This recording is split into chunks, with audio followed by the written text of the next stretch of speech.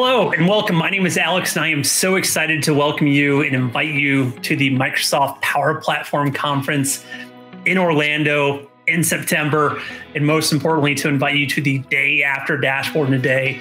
If you're like me, you've attended Dashboard in a Day in the past, and you've had so much fun with all these light bulb moments going off about how this technology can, you know, change your workflows, Power Query, data modeling, report visualizations. We're so excited for you to take the next step with the day after dashboard and day content.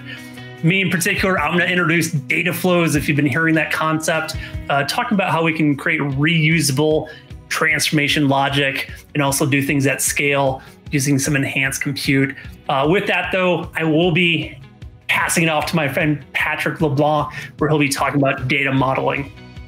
Wow, that's amazing, Alex. Well, once Alex is done, I'm going to show you how to make your model blazing fast, where I'm going to discuss where I'm going to discuss topics like data modeling best practices, direct query, composite models, and I'll sprinkle a little bit of DAX on it. And that's just to mention a few. After I'm done, I'll hand it off to Adam.